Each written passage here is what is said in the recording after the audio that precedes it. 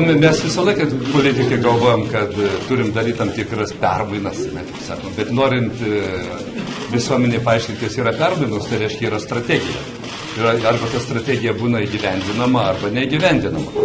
Jeigu tik vienas žodis sako, kad už tai, kas yra pažangu, už, už tam tikras permainas, tai turi būti aiškiai visuomenė pasakyta, suprantamai, tai kokios tos turi būti permainos. Ar ekonominėje sferoje, ar socialinėje srityje, ar finansų srityje. Aš tai visą laiką sakau, tai kad tu turi žinoti, kokios yra valstybėje problemos ir tu turi žinoti, kaip tas problemas spręsti artimiausiu metu.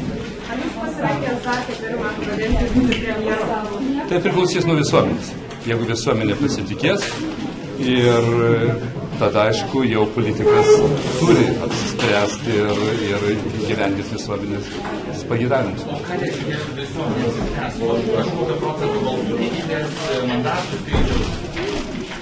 Jau ne vieną kartą esu pasakęs, kad tikimės mes mandatų skaičiaus nuo 35 iki 40. Ir e, visuomenės apsisprendimas yra tai, kad ar visuomenė pasitikė Socialdemokratų partiją, dabartinę vyriausybę. Ir jeigu visuomenė balsuoja už ją, tai reiškia tada ir yra išreikšta visuomenės nuomonė. O jeigu visuomenė nepasitikė, tai niekada, aš manau, kaip partijos pirmininkas, nu, nesieks aukščiausio posto.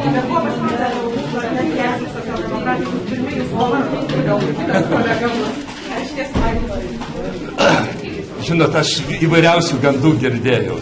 Įvairiausių gandų girdėjau, tikrai nuovargių nesiskundžiu, nes jeigu būtumėt vakar atėję į forum palai salę, tai žinot, mano treniruotė užtruko beveik 2,5 valandos. Koalicija aš įsivaizduoju tokią, kuri galės suderinti savo programinės nuostatas ir kuri ras bendrą supratimą, ką Lietuvoje reikėtų artimiausių metų nuveikti.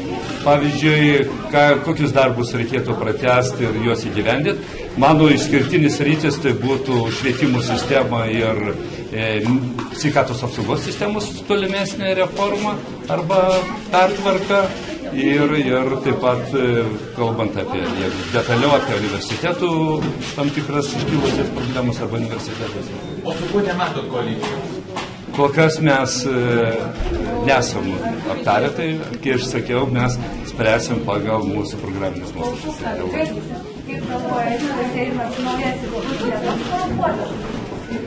Žinot, aš manau, kad apie, apie korupciją per daug Lietuvoje yra kalbama. Aišku, tie faktai, kurie įvyko, tai aš manau nepuošia politinės visos sistemos.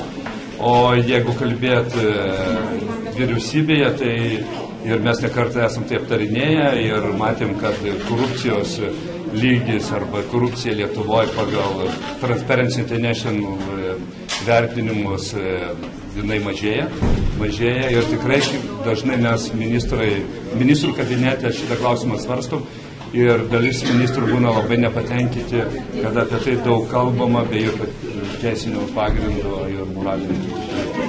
Sakyti 35-40, o jeigu bus 30, tai reiškia, jūs jau nevadovausite. Aš pasakysiu po dviejų savaičių, susiginkluoti bendrai.